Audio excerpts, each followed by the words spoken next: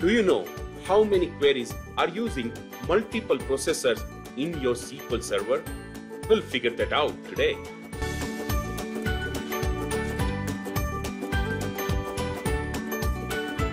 Hi there, this is Pinal Dave and welcome all of you to this another episode of SQL in the 60 second. Yesterday only, I was just talking to my client and they wanted to know if they have multiple processor but are queries really using them? It is very easy to figure it out if your queries are using parallelism and parallel operators or not. Let's see how we can do that today in this very quick demonstration. On the screen, you are seeing two queries.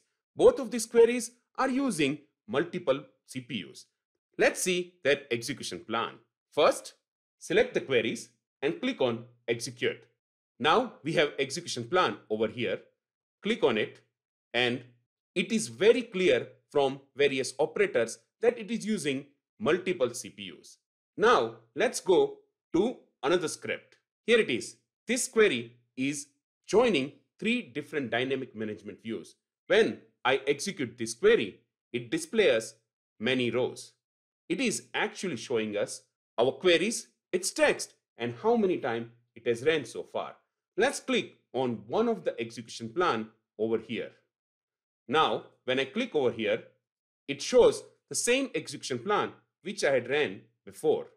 This is how you can figure it out how many queries are using parallel operators. In future video, I will discuss in detail if parallelism is good or not.